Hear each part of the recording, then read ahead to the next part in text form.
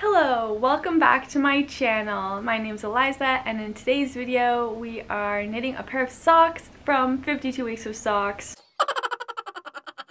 I have not been knitting my socks as fast as I was when I first started this series and I'm trying to figure out how to get out of this little sock slump that I'm in. I have three pairs of socks on my needles right now and I have no desire to knit any of them. So I thought it would be a great opportunity to pick the most fun pair that I could find in the book and to me right now that's a pair of colorwork socks. There are plenty of fun looking pairs in this book that are different but I really wanted to do color work because I think that will just like wake me up a little and like help me get out of this sock slump. So let's just get into it. I'm really eager to knit these and I've kind of given myself an excuse to put down my other sock projects and start a new pair so I'm very excited to cast on something new. The pattern that I've decided to knit in this video is the Boyland Socks by Caitlin Hunter.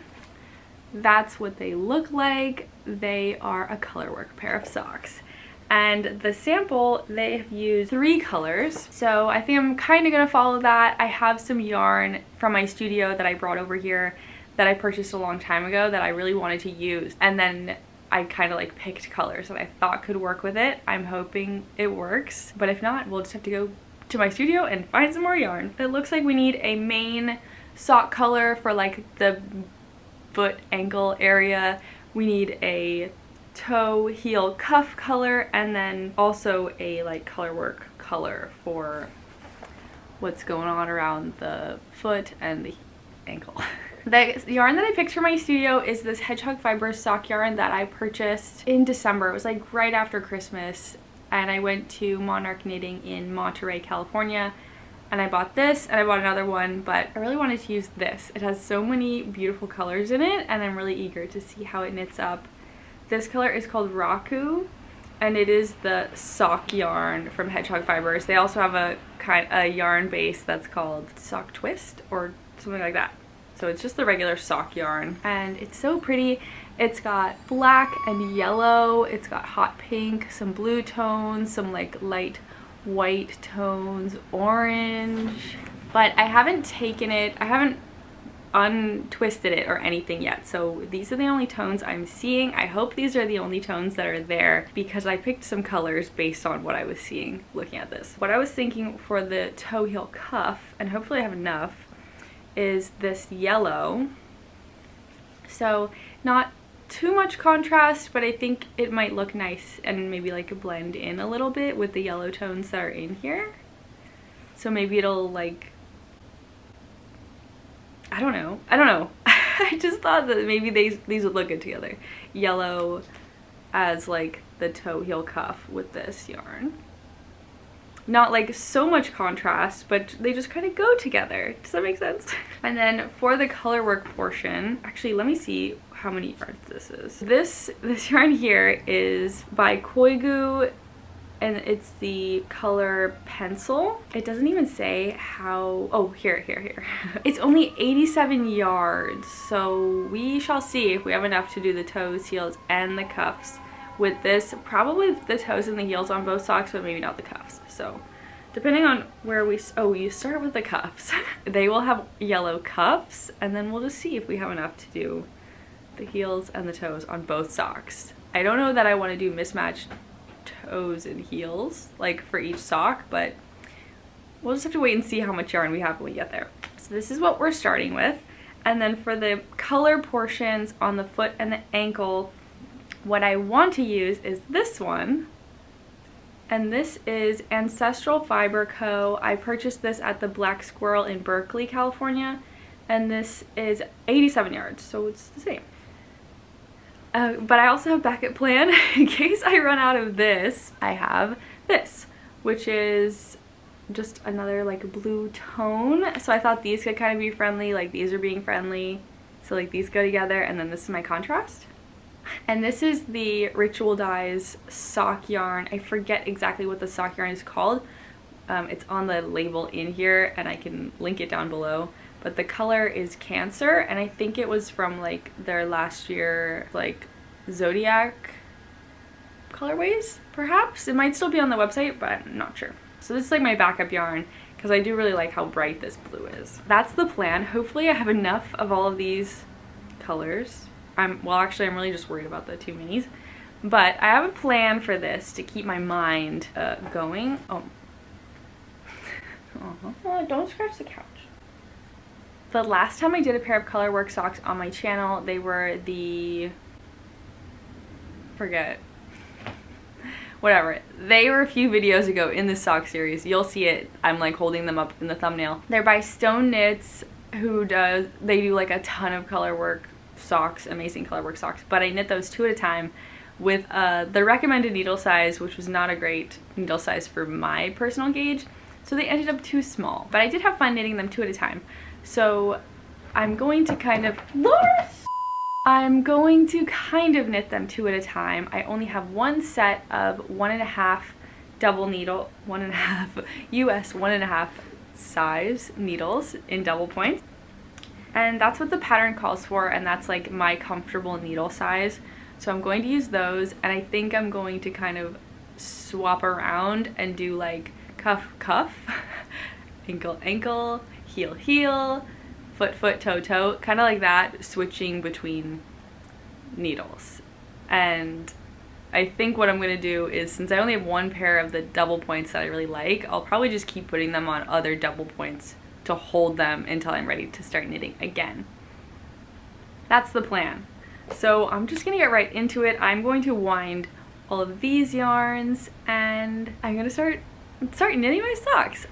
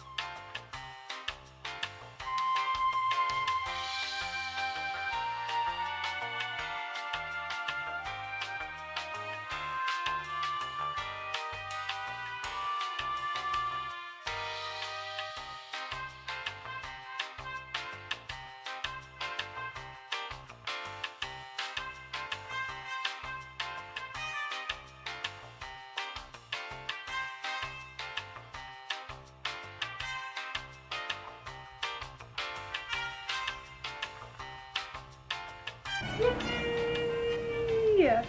The socks are done.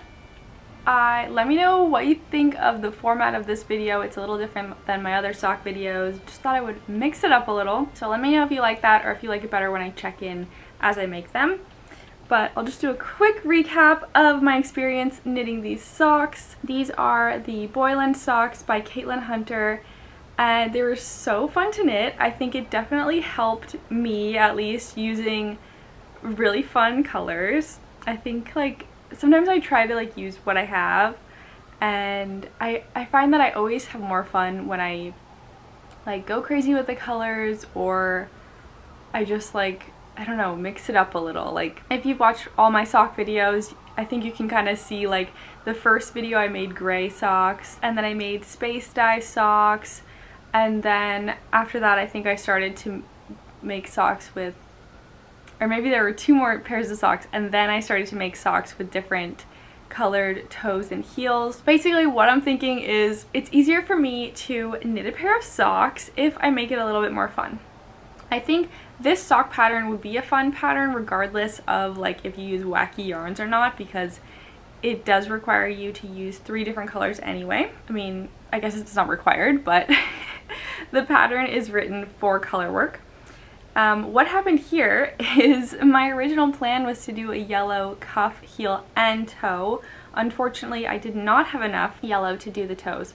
So I started to do a toe. I think I got through like almost one whole toe and then I was like, I'm definitely not going to have enough for the other toe. But I had a lot of the blue left. So after experimenting a little bit, I like, I did the second one where I did like one or two rows of blue and then started doing yellow and I just didn't like it as much. I felt like adding that stripe there just like didn't really go with the rest of the sock. So I ended up doing blue. I feel like it's still pretty cohesive, although I think if I had known I was going to run out of yellow, I would have done a blue heel and a yellow toe just so it's like a little bit more even or like symmetrical in my head. For some reason I feel like a cuff and a toe matching and then having the blue in between the two blue color work sections would look nice too, but this still looks nice. Also my toes ended up a little bit small because when I was worried or when I was trying to like conserve yellow yarn, I ended up doing like three rows of the toe in my main sock color. So my toes ended up a little bit small, but I think that's fine.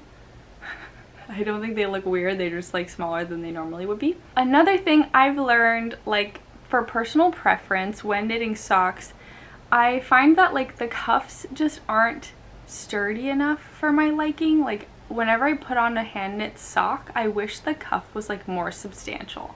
So I think next time I knit a sock, I might see what it's like to hold the yarn double just for the cuff to see if it helps like make it feel a little tighter or just like thicker because in my mind I feel like the cuff should be thick.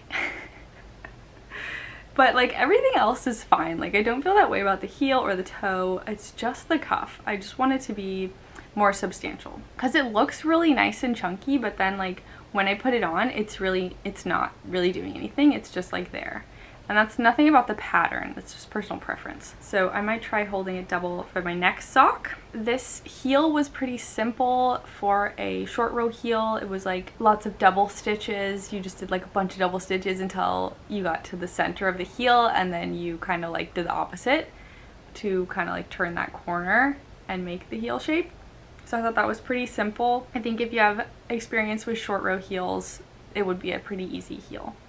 And then the toe is just a standard like decrease toe. Pretty simple. I also found the color work to be really easy and the bobbles in the ankle were so fun.